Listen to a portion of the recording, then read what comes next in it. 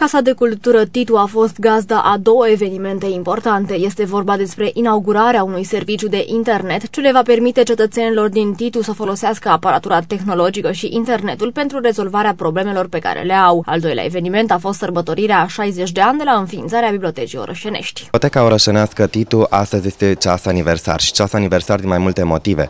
În primul și în primul rând aniversăm 60 de ani de la înființarea Bibliotecii Publice în această localitate.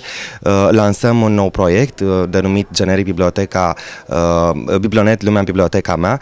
Uh, de fapt este vorba de calculatoare cu acces internet gratuit pentru public și încă un proiect, biblioteca mea e cea mai culturală, care se va derula în parteneria cu bibliotecile județeană Dâmbovița, biblioteca din localitățile Doicești, Voinești și Valent Dâmbovița, care dorește de fapt să aducă în, prin, uh, în, plin, în atenția tuturor tinerii care au calități artistice și, nu în ultimul rând, copiii din localitățile respective, dând o șansă astfel uh, să promoveze și să crească în ceea ce înseamnă ducerea mai departe a tradițiilor și culturii uh, românești. Biblioteca Titu Târg găzduiește și un punct de informare europeană dezvoltat în parteneria cu Centrul Europe Direct Târgoviște. Pe această cale încercăm să oferim informație europeană de calitate și de ultimă oră și cetățenilor din sudul județului Dâmbovița. Bibliotecarul responsabil de biblioteca orășenească este foarte mulțumit de acest, mai ales că de acum înainte cetățenii din Titu vor petrece mai mult timp în instituția pe care o conduce. Astăzi, Biblioteca Orășenească Titu a aniversat uh, două mari evenimente și anume Biblionet Lumea în Biblioteca mea, proiect finanțat de IRES România